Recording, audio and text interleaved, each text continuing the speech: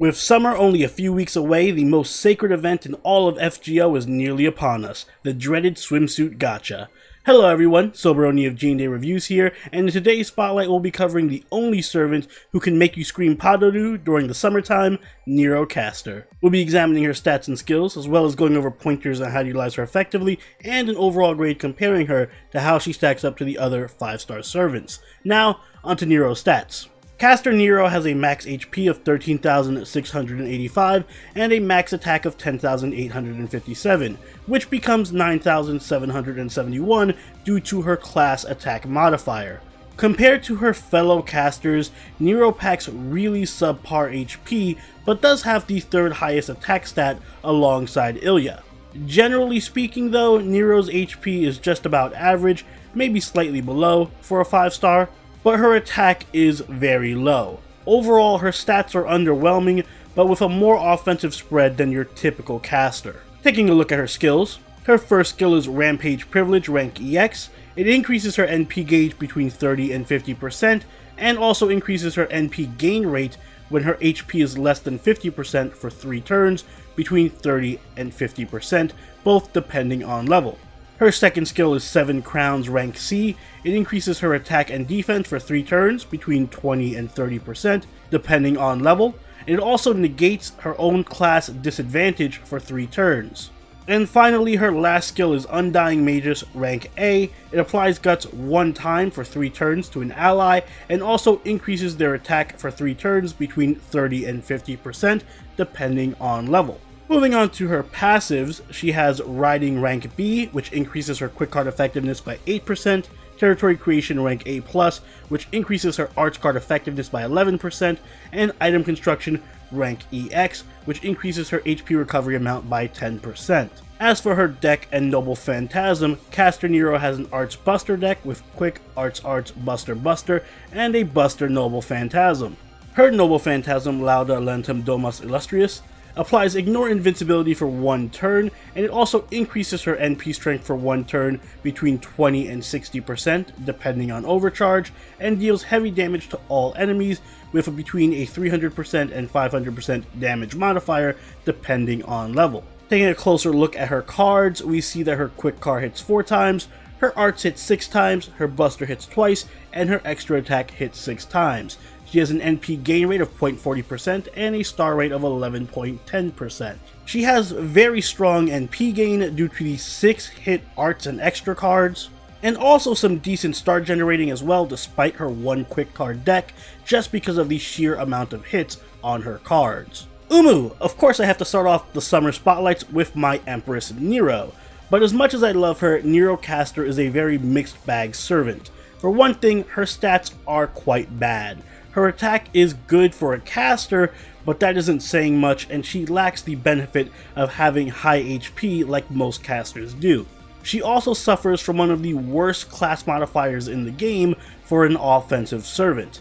But despite that, Nero is still packing heat. Seven Crowns is a tremendously unique and powerful self buff that gives Nero a strong attack and defense buff on a short cooldown. This allows her to consistently hit above her weight class in most fights. Whereas most other offensive casters are NP damage focused, Nero's standard attack has a lot more oomph thanks to that high uptime buff. The defense buff on the skill is also respectable, and it gives Nero actual tanking capabilities, but even more impressive than that is the class affinity negation effect. This removes Nero's class weaknesses, meaning that she's no longer going to take bonus damage from Riders, Berserkers, or Alter Egos. Surprisingly enough, that isn't Nero's only skill that has both offensive and defensive capabilities. Undying Magus is a targetable buff that grants Guts and a gigantic 50% attack buff to any party member.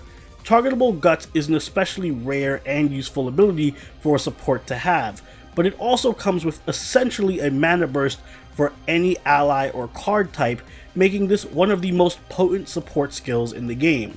It's also worth noting that the Guts revives an ally with 1 HP. This is especially useful for any allies who deal bonus damage at low HP. Finally, what caster wouldn't be complete without NP charge, and Nero has Rampage Privilege. It provides her a whopping 50% NP charge and an additional 50% buff to her NP gain rate when her HP is below half. Given that her NP gain is already great, this skill serves to make her monstrous and capable of NPing multiple times and nearly any time that she wants. All of Nero's skills are ridiculously strong, so skill priority is flexible. If you want to focus on using Nero offensively or as a support, then I suggest leveling 7 crowns for the high uptime buff, followed by Undying Magus for the survivability and additional damage, and then finally Rampage Privilege. But if you are planning to use Nero for most of your farming, then you should level up Rampage Privilege before Undying Magus so that you can NP turn 1 even with CEs like Golden Sumo equipped. Speaking of Noble Phantasms, Nero's Noble Phantasm is an AoE that ignores evade and invincibility and also boosts her NP strength before applying damage. Being able to hit through evade and invincibility is helpful when considering how many assassins have dodge. Additionally, the NP damage buff is pretty strong, so despite being AoE, Nero's NP can hurt. As I mentioned, Nero has excellent NP gain, so it isn't difficult at all to NP multiple times in a battle, and combined with her low cooldown damage buff from 7 crowns, this means Nero is consistently able to apply good damage with high DPS. That is to say, unlike Sanzo or Ilya, who are more burst oriented, Nero's damage doesn't drop off significantly in between Noble Phantasms. Defensively, Nero is also solid. The 30% defense buff is strong, but the ability to ignore class weaknesses means that she can even be used against berserkers or riders if you're using her to support an assassin. Her tankiness gives her a lot more versatility in team comps, and Undying Magus is another highly versatile skill. Nero can cast it on herself to make herself even more tanky or powerful, or better yet, you can use it on an ally to make them unkillable. Caster Nero's biggest strength is the high level of flexibility that her kit offers. She makes for an excellent support on any team thanks to Undying Magus being a busted skill. She has strong self buffs so that she can be used offensively, and her insane NP battery makes her one of the best farming servants in her class. She can play nearly any role and do it with a high degree of proficiency. That said, as is the case with most flexible servants, she is a jack of all trades and master of none. Despite her good steady damage, she doesn't hold a candle to more dedicated offensive casters, and while her support skill is great, it's nowhere near as good as dedicated supports like Waver or Merlin. Additionally, her fantastic skills come at a cost. She has uneven and long cooldowns. 7 crowns may be a short cooldown skill, but Undying Magus will likely only be able to be used once in any given battle. It's harder to find a team that Nerocaster won't fit on than it is to find ones that she does. But for the sake of efficiency, Nero's best team roles are that of support or damage dealer. When being used as a support, she can support a wide range of servants, but Hijikata, Anne and Mary, and Brynhildr have very high synergy with Nero. Both Hijikata and Anne and Mary benefit from reviving with 1 HP thanks to Undying Magus, where they can unleash their most powerful Noble Phantasms. Additionally, Nerocaster can do a good job of providing them crit stars as well. Similarly, Bryn also lacks any form of hard defense, so Guts is tremendously helpful and she can also bolster Nero's star generating with her Noble Phantasm so that Nero can feed her even more stars. When using Nero offensively, it's better to use her for farming or in battles that have large amounts of enemies in each wave so that you can get the most use out of her NP spamming ability.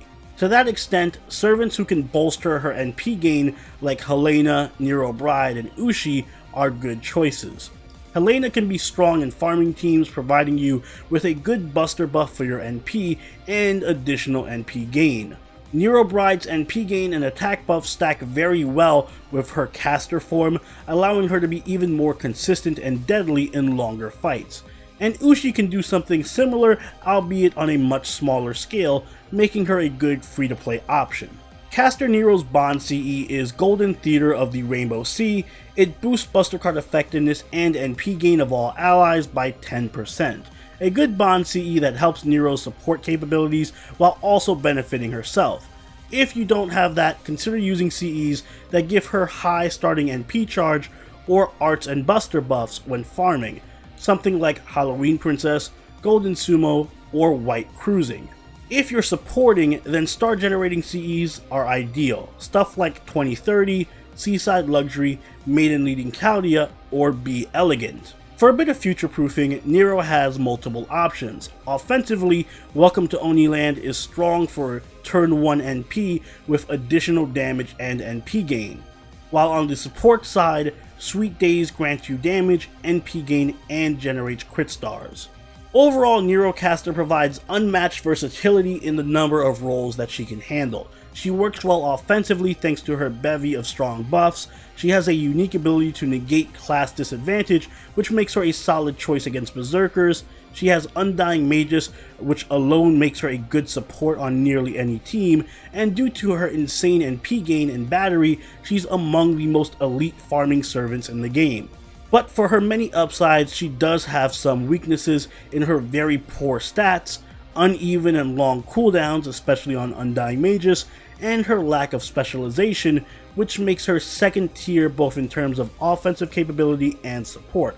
With that said though, there is no denying her outstanding skill set and versatility, so she gets an A from me. While she may not be the offensive powerhouse that Sanzo or Ilya are, her damage is still very good for an AoE servant. Combined with the fact that her farming capabilities are second only to maybe Nitocris, and the fact that she packs one of the best self buffs and support skills in the game, it's hard to debate that she isn't among the best casters available.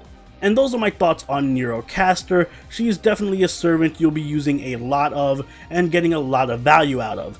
There's a reason why she appears in so many of my spotlights after all.